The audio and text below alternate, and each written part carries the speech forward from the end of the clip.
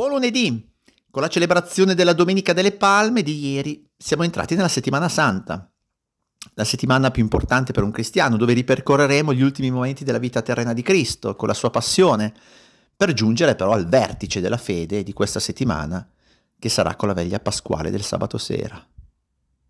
Dal Vangelo di oggi possiamo cogliere tutta l'umanità di Gesù. Mm, sa che lo attendono giorni difficili, mancano sei giorni alla sua passione eh, avrà avuto il cuore in gola, eh? avrà avuto sicuramente ansia, paura ed è più che comprensibile, è più che umano. E cosa fa? Va a Betania a trovare alcuni amici, Marta, Maria e Lazzaro. Tutti possiamo trovarci a dover affrontare dei momenti difficili per diversi motivi, per diverse ragioni, ma chiediamoci, abbiamo degli amici dai quali andare, con i quali trovare ristoro, con i quali confrontarci, sfogarci, consigliarci, dai quali ci sentiamo accolti sia nei momenti di gioia come in quelli di fatica e di dolore.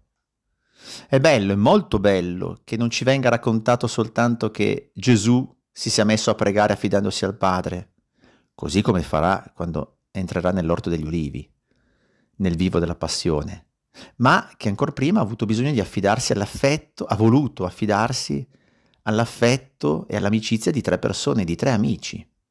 Mm. Certamente al primo posto delle nostre amicizie è importante che vi sia Dio. Lui stesso ci ha detto che ci considera suoi amici ed è in Lui che dobbiamo rifugiarci, tanto più quando ci troviamo nella prova, nelle, in quelle che sono le difficoltà.